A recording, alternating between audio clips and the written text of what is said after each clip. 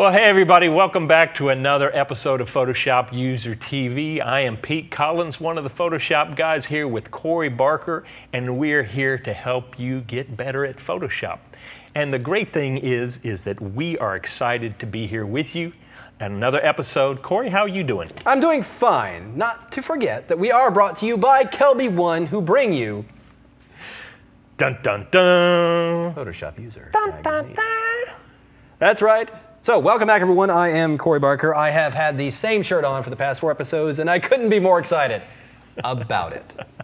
Pete, I'm? I'm just tickled to be here. It's been fun, isn't it? They let me out of my cage, and uh, you know, this is Yeah. my, my free time. This is recess. It is that rare occasion. So, why don't we kick it off? Uh, Pete's got something he's going to kick us off. He's had a continuing theme running these past few episodes, and I think he's going to be wrapping it up this time around. What do you think? Yeah, I've been uh, basically what happened is I was looking for some different ideas for creating an, an iPad or an iPhone uh, looking uh, screen background or whatever, and so I came across some neat ones, and I started thinking about how I would create some of my own backgrounds and stuff for it, and so this fourth one is what I came across was this was a neat one here, and it's a little dark up there, but hopefully you can see that it's kind of uh, got a blueprint kind of background to it, and it's got this tech feel to it. and these neat- framey. yeah, kind of wireframey. And so I started playing around, and a lot of times what I do is I'll jump over and I'll try to find something similar at like iStock Photo or at Fotolia. But the truth of the matter is, this time I said, how can I make it something that I create from scratch? So the first thing I did is I went, huh, let me go check the different stuff that I already have. Uh, because a lot of times you probably already have some good stuff to play with. And I've got all kinds of files. If you look over at Bridge, I've got just reams and reams of paper. You see what I did there? Reams, paper. I've got all these paper files that are not only great for just background textures of paper themselves, but they lend themselves to create all kinds of other textures. And so what I did is I came across um, some other images in there, and I really liked this base texture right here. So I pulled that up. And, and here's the thing, once again, I showed before, if I've got these two here, I can come in and I can just go arrange, and I can do a two up vertical where I can compare the two. And the nice thing is I don't really need a lot of that. I just want a little bit of it to kind of remind me what I'm working on. So now I've got a decent base image. I like the color and I like the texture. So uh, then I went out searching for some other stuff and I decided, well, I didn't have a good graph paper that I could use, but what I did have was this neat kind of grungy regular paper. So what I did is I took this and I'm just going to take and bring this over. Let's get this back over here. Let's check. I know it's documents. fighting me now. Windows, arrange. Let's do something crazy. Three up vertical is just amazing and it's locked and I dislike you, but we're gonna bring it over like that. Aha, I defeated it. Get rid of you, goodbye. I'm gonna get rid of you like this because normally once I get an idea, I just need the whole screen to play with. Okay, so I've got that paper in there, but it's a little too big. Now here's the thing. I notice, you'll notice that different people do different, this different ways. When you drop something in and it's too big, Corey tends to take and go Control or Command O, I believe, Yep. to show the whole outside of it. I tend to like to keep everything right there because I tend to like the size I already have it. So what I do is I just simply come up to my options bar, hit that link button, and then I just drag one of my my uh, sizes over and I start shrinking it down so I never have to change out of that screen and I can bring it to the size I want until I get the handles. And now, it, since it's constrained, I can go ahead and do something like that. However, here's the downside to it. Once I do that, I may want to kick that off so that I can constrain it in like that. But it's just another way to do it. Okay, I get that like I like it. And so I'm going to go over and change the blend mode to multiply. And it looks okay. But here's the, the trick. Because I want to make it graph paper, I'm just going to do another situation of that, Commander Control J to make a copy. Now Commander Control T, and I'm just going to spin it. Ah, but I got to change my, my sizing again. And look, as soon as I start to do that, I can now create my own graph paper by simply taking the lines and letting them intersect with each other. Now, here's the thing I can now take each one of these, and maybe instead of multiply, I could do screen. Nope. How about soft light? Yep, I kind of like the way that works a little bit better. And so what I'm doing is I'm using what I already have to build a background, just using very simple techniques. And what I've done is I'm able to create a whole new set of backgrounds. If I don't like it, if I want to change the way it looks, I've got complete control here. And eventually what I can do is I can come in and create the kind of background that I like to look, and then I build my own background display from that. If you'll notice, I come in here, here is the background that I've created using those two layers merged together right on top of there, and then I've simply built my, my app holders right there on top of it, and I'm ready to go. So don't think just because you don't have that absolutely perfect stock image that you're stuck or you have to go out and buy it or whatever. Go mm-hmm. check what you have. Go see if there's a way that you can take those and merge those together to give you a look that you want. The nice thing is, once you create that look, nobody else will have it, and people go, "Ooh, how'd you do that?" and say, "Ah, it was nothing." And that, of course, is it. There's a uniqueness to it, but also it's not just the textures themselves. But I always people tend to dismiss textures because it's the wrong color, right, or something like that. It's just, and I, I have outrageous, weird pink, you know, ugly textures. But the thing is, they're great textures the color can be dealt with in Photoshop, of course. I mean, you can blend that out and do whatever you want to with it. So awesome tip. That's awesome. So I like it. Now you're ready to. Now next now next week you're going to have it on your iPad to show you yes. so it in play. Yeah, I'm not that I'm not that organized. There's no way it's going to happen. We never are. All right, we are going to take a quick break. We're going to come right back. I have finally got 3D. You've been waiting for it for at least two minutes. You're going to have to wait a couple minutes more. All right, stay with us. We'll come right back. We'll be right here.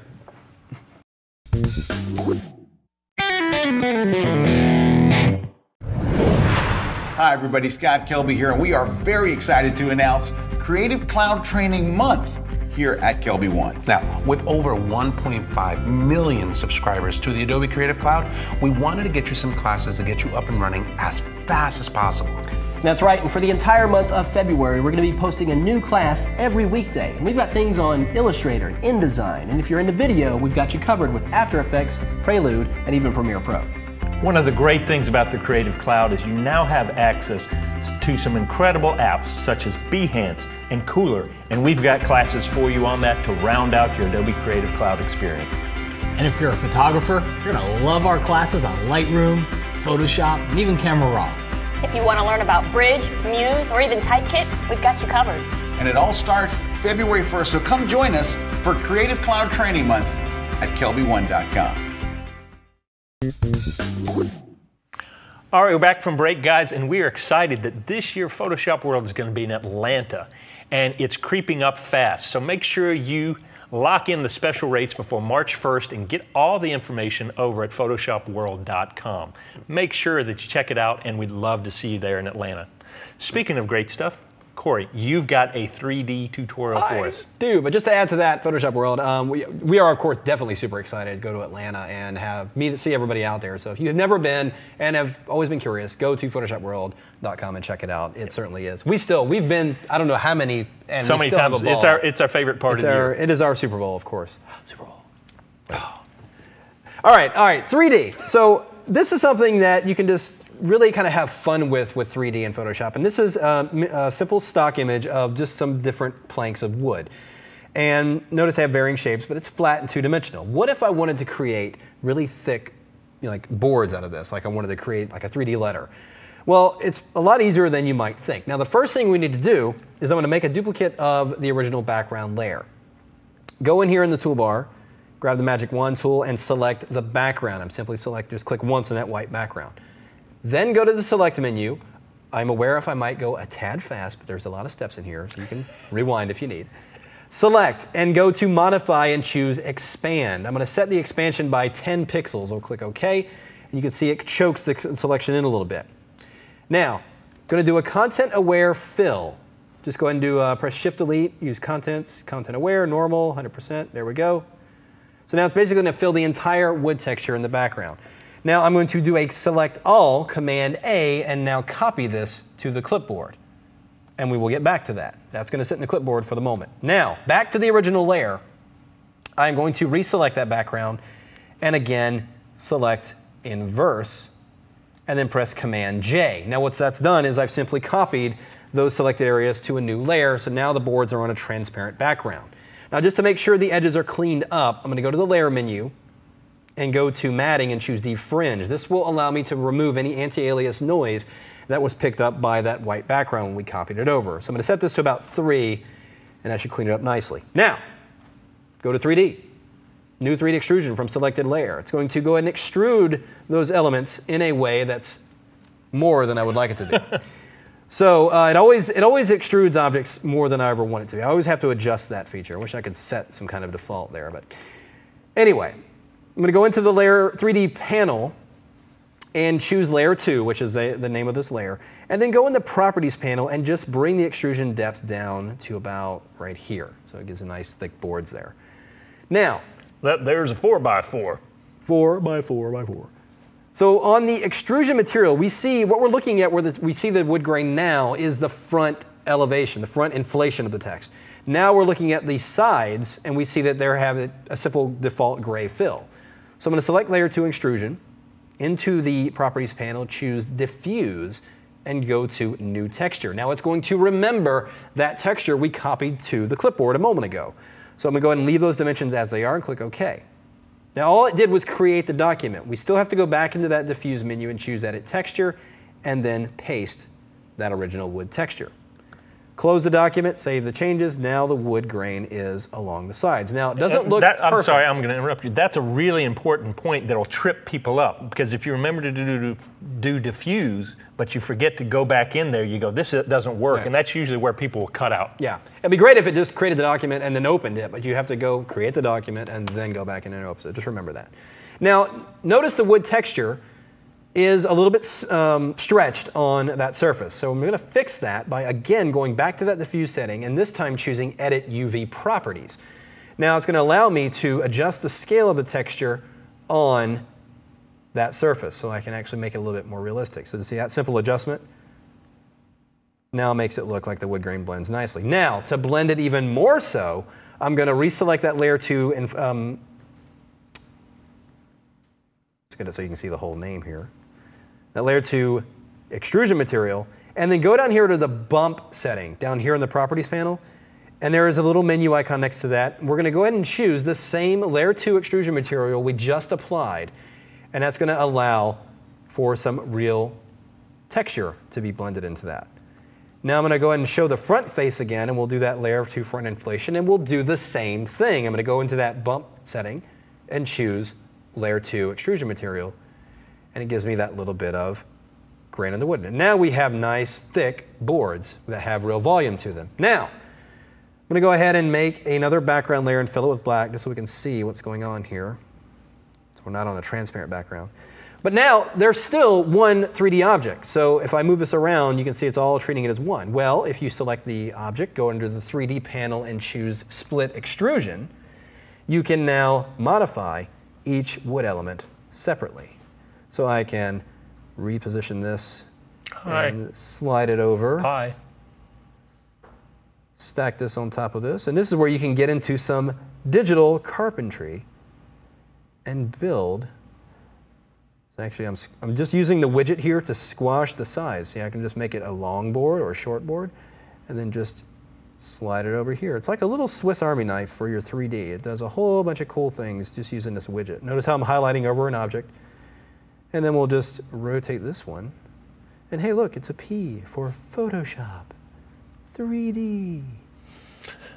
So I'll position that there, and then I can then I can go in here and add elements like you know brackets or something to kind of connect them all together. But there you have a 3D letter built from giant wood blocks, made from a flat two-dimensional stock image. So just gives you a really good idea of what you can do, um, not just with 3D, but with 3D objects and building your own elements, and not just starting with a basic shape and everything like that. So there's my 3D trick. I, don't- I don't know about the rest of them, but you made me bored. bored. With that, Got a million. all right. Before he throws any more bad ones in, let's hurry up and wrap up the show. So, I think we have another Peach video uh, e-deal this week. What do you think? What does it say on there? Yeah, we do. Tyler Jones has the 100% Kid. That's the name of the book. It's not 100% Kid book.